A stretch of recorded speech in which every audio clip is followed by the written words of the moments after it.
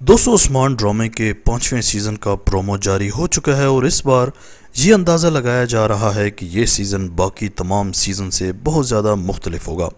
क्योंकि पिछले सीज़न में जो हाल हुआ है और जितनी भी कशीदगियाँ पैदा हुई, वो अब इस सीज़न में नज़र नहीं आएँगी। दोस्तों सीज़न फाइव से हटकर एक और न्यूज़ आजकल बहुत ज़्यादा गर्दिश कर रही है कि सीज़न फाइव में अर्तुल गाजी वाली असलहान खातून भी हमें नज़र आएँगी। ये खबर कहाँ तक सच है और सीज़न फाइव में इसके अलावा और क्या बड़ी तब्दीलियाँ की गई हैं, इस पर भी बात करेंगे। सबसे पहले अगर कुछ फैक्ट्स की बात करें इस सीरीज़ की तो दोस्तों, ये बात सच है कि पहले जैसा क्रेज़ अब इस सीरीज़ का नहीं रहा। लेकिन अभी भी उस्मान सीरीज़ सुपर हिट जा रही है, जिसके मद्दाहों में दिन ब दिन इजाफा होता जा रहा है। मतलब आसान अल्फाज में बात करें तो ये सीरीज़ बाकी तमाम ही तुर्की की सीरीज़ से ऊपर वाली सीरीज़ है जो कि अब चल रही हैं, क्योंकि इस सीरीज़ की ज़्यादातर फ़ैन फॉलोइंग तुर्की से बाहर की है।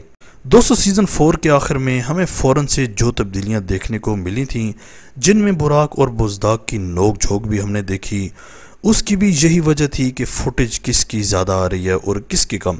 मतलब बात यहाँ तक आ गई कि कहानी और प्रोडक्शन को छोड़कर अब फुटेज तक बात आ गई कि किसको ज़्यादा दिखाया जा रहा है।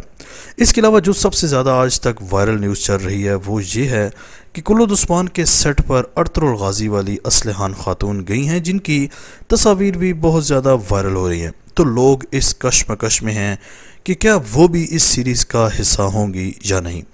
देखिए, बात यह है कि चौथे सीज़न का अख्ताम जिस हालात में हुआ है, उसके बाद महमद बुजदाक को समझ लग चुकी थी कि लोग अब इस सीरीज़ से मुतनफ़र हो जाएँगे। तो उसने बाकायदा मेन स्ट्रीम मीडिया के ज़रिए ऐलान किया कि उस्मान गाजी की लोकेशन आम आवाम के लिए हर वक्त ओपन है। जो भी आना चाहे इसको प्रॉपर विज़िट कराया जाएगा। और इस ड्रामे के अदाकार हर रोज़ आकर आपसे मुखातिब भी होंगे। तो ऐसे में हर रोज़ इस लोकेशन पर हज़ारों की तादाद में लोग आते हैं, जो तलवार जनी भी करते हैं, घुड़सवारी भी करते हैं और इस सीरीज़ के अदाकार भी आते हैं, जिनमें तुर्गुत, बाला खातून और दीगर अदाकार आए, जिन्होंने लोगों के सवालात के जवाब भी दिए और इनके साथ टाइम भी गुजारा। बिल्कुल ऐसे ही हमने असलहान खातून को भी देखा कि वो भी इस लोकेशन पर आईं और उस्मान गाजी के बारे में लोगों से काफ़ी ज़्यादा बातचीत भी की और ऐसा लग रहा था कि इनको बाकायदा इस सीरीज़ में ले लिया गया है। दोस्तों, मुझे ऐसा लगता है कि वो सिर्फ़ और सिर्फ़ इसकी प्रमोशन के लिए आई थी, क्योंकि इनके किरदार की अब कोई वजह नहीं बनती। लेकिन महमद बोजाक साहब का पता भी कोई नहीं है कि हो सकता है कि इनको भी किसी न किसी करेक्टर के लिए साइन कर लिया हो।